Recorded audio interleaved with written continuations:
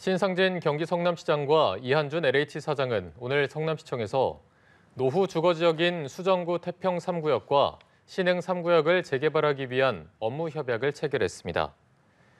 협약에 따라 LH는 재개발 지역 주민들의 주거 안정을 위해 순환 정비 방식으로 사업을 추진하고 성남시는 사업 시행 인가와 관리 처분 계획 인가 등 행정 절차를 지원하게 됩니다. 신상진 시장은 원주민들이 재정착하지 못하고 밖으로 내몰리는 전면 철거 방식의 부작용을 해결하기 위해 순환 정비 방식을 채택했다고 말했습니다.